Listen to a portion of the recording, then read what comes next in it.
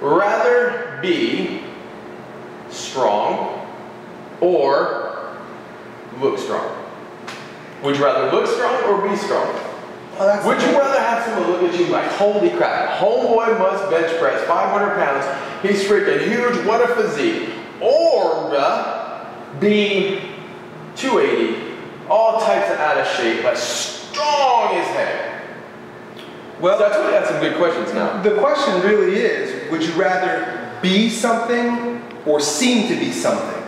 And there's always so much more power to actually being the thing that you're going after. Mm. You've got people who get all types of plastic surgery to look beautiful, but really what they're saying in their behavior, going to get their surgery, is I'm not beautiful. So just because you have the trappings of beauty doesn't mean you're actually beautiful. You just Inside. painted it on. Yeah. So I'd rather be a particular virtue. See, these are these are virtues. Strength is a virtue.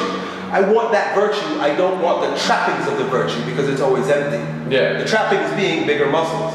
I'd rather be strength than to pretend strength. Dang. Uh, As expected, we getting deep up in here.